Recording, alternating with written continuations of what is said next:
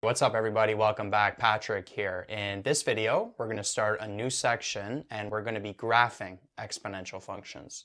So notice that I got three different ones here and I'm gonna show you the process that I go through. May not necessarily be the same process your teacher goes through, but hopefully you can catch some similarities.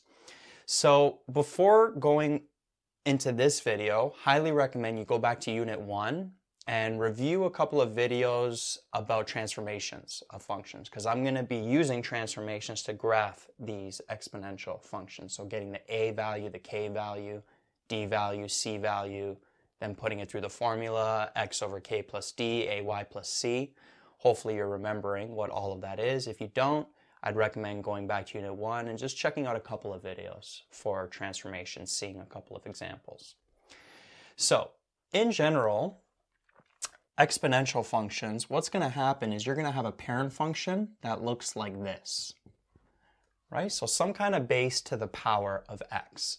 And that's actually the first step in graphing exponential functions is you want to figure out what the base is, what the parent function is.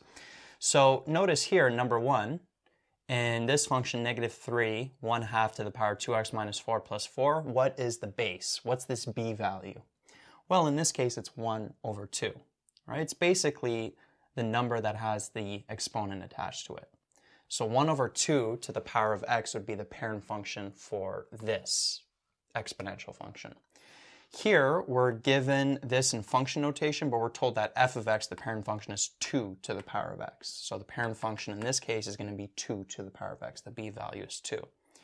And then in here, we got negative 3 minus 2 times 3 to the power of 1 half x plus 3. That's the base, the 3 here, right? What's attached to the exponent. So the parent function in this case would be 3 to the power of x. So that's one difference between exponential functions and the functions we dealt with before, like x squared, absolute value x, 1 over x, is that the parent function is going to change depending on what the base is. So before, the parent functions had standard tables like x squared, all of those functions that we dealt with in Unit 1. But with exponential functions, the parent table can change depending on what the base is.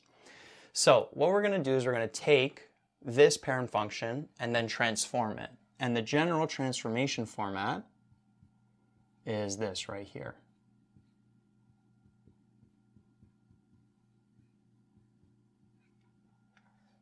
So once it's in this format, that's how you're going to get your transformation values, the A value, the K value, the D value, and then the C value. So let's start off by trying to graph number one, which I've written out here, y equals negative 3, 1 half to the power 2x minus 4 plus 4. First step, as I mentioned before, you want to figure out what is the base you're dealing with. What is the parent function? Well, in this case, that's the base, 1 half. So the parent function is 1 half to the power of x. And then what you want to do is you want to make a table for this parent function. And you could pick however many points you want. Uh, for this one, let's maybe go from negative 2, negative 1, 0, 1, 2. It's quite a lot of points. Uh, usually some teachers just want you to plot 3, but uh, I'm going to plot 5 in this case. Maybe I'll plot 3 in some of the other functions. So 1 half to the power of negative 2 at an x value of 2, what do you get? Well, that would equal 4. If you plug that into your calculator, basically 1 over 2 to the power of negative 2, flip the fraction, 2 over 1 to the power positive 2, which is like 2 to the power positive 2, which is 4. Then 1 half to the negative 1 would give you uh, positive 2, 1 half to the 0 would give you 1. 1 half to the 1 would give you 1 half. Let's put a decimal actually, 0 0.5. And then 1 half to the power of 2 would be 1 over 4, which would be 0 0.25. Right, so this here represents your parent table for this specific exponential function with a base of 1 half.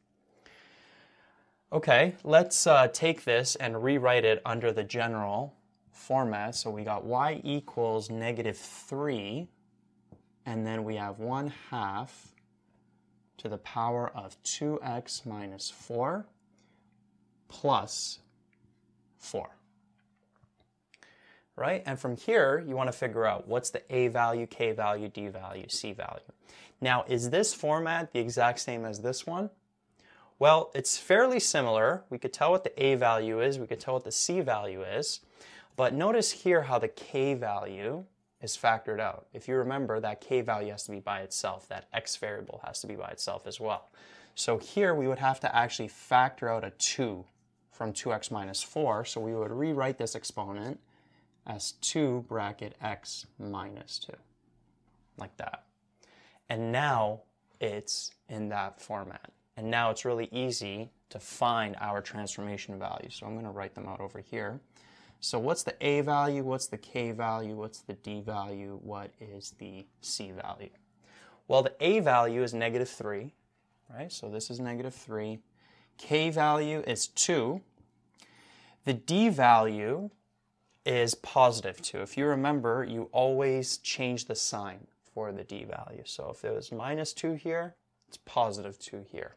If it's x plus 2, then uh, the D value would be negative 2, right? Because it's x minus the D value. So x minus 2 means the D value is positive 2. And then the C value is 4. Okay, so now that we have our transformation values, we put them through the general transformation format. And if you remember, what is the general transformation formula? It's x over k plus d, and then ay plus c. Right? So all of these x values, we're going to transform through this formula. All of the y values, we're going to transform through that formula. So from here, you just want to plug in. So basically the k value is 2, so all the x values, we're going to divide by 2, and then we're going to add 2. We're going to add that d value. And then all of the y values, we're going to multiply by negative 3, right? So there's going to be a negative 3 here for the a value, and then the c value, it's going to be 4.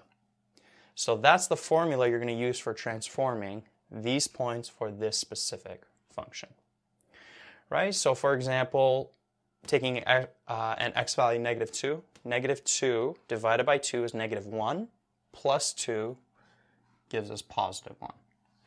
This here, negative 1, negative 1 divided by 2 is negative 0.5, plus 2, that gives us 1.5. 0, 0 divided by 2 is 0, plus 2, that just gives us 2. Um, 1 divided by 2 is 0.5 plus 2, that gives us 2.5. And then uh, 2 divided by 2 is 1 plus 2, that just gives us 3. And then you take these y values, put them through that formula. So 4 times negative 3 is negative 12, plus 4 gives us negative 8. 2 times negative 3, negative 6, plus 4, that gives us negative, um, 2. 1 times negative 3 plus 4, that gives us positive 1. Uh, 0.5 times negative 3 is negative 1.5 plus 4, that would give us positive 2.5. And then uh, negative 3 times 0.25, that gives us what? Negative 0.75. Negative 0.75 plus 4 would give us what? 3.25? And now notice we have our table for this function here. So we're just going to be plotting those points. So I took that table, rewrote it here, and then rewrote the transformation values over here, and I'm going to take that table and plot it on that graph.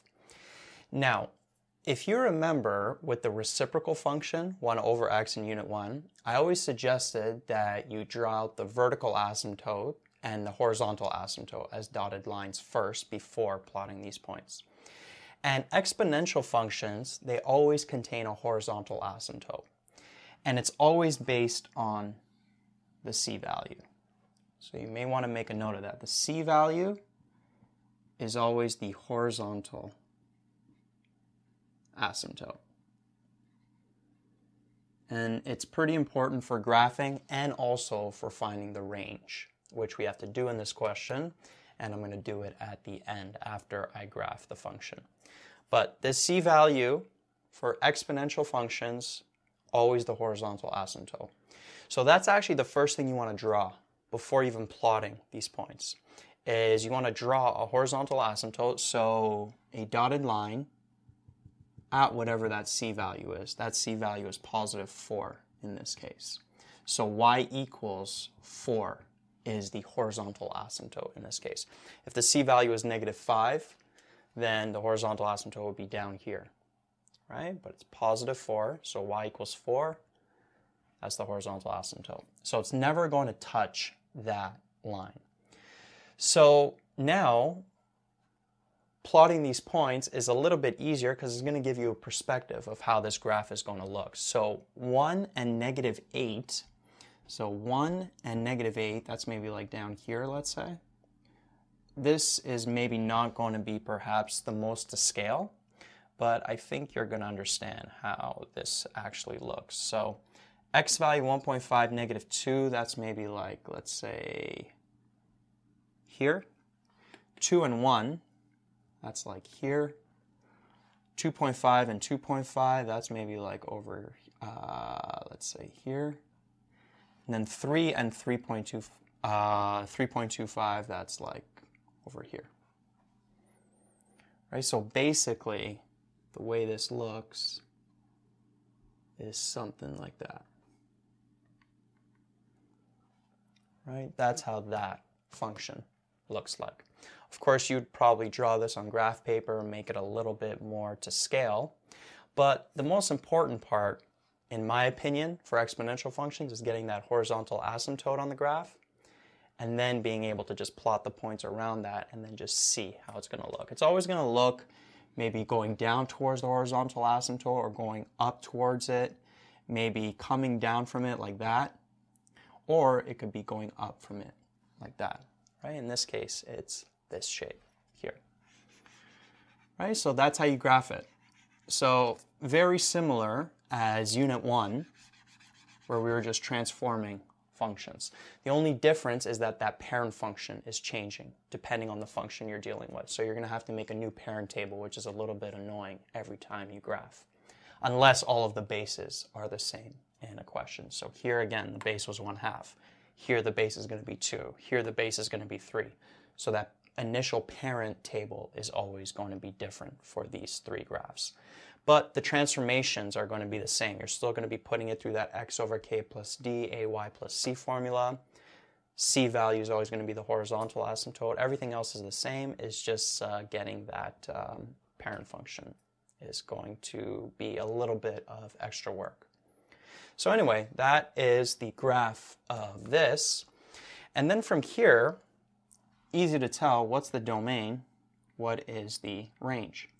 Now the domain for an exponential function, just an abstract exponential function, is always XER.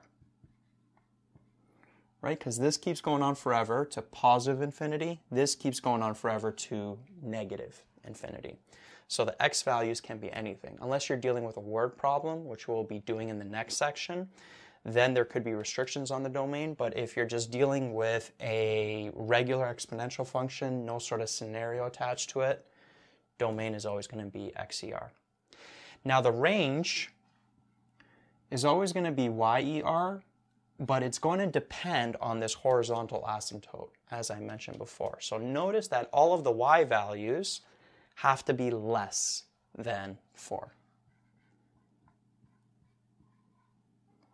Right, so that is the range. And it's not less than or equal to 4, it's just less than 4 because it never touches that horizontal asymptote, never touches that y value of 4.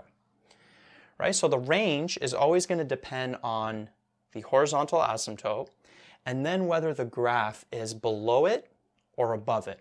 So if this graph instead maybe looked like this, then the range would be y is greater than 4, right? All of the y values are above the horizontal asymptote. But because they're below it, right, y has to be less than 4. So the range for an exponential function is always going to take this format. It's going to be y is either less than the c value or y is greater than the c value, depending on where the y values are relative to that horizontal asymptote. And that's it. That's the process for graphing. So you just basically figure out the parent function that you're dealing with and then uh, put it in this format, get your uh, transformation values, put it through the formula, graph it, and then getting the domain and range is pretty easy.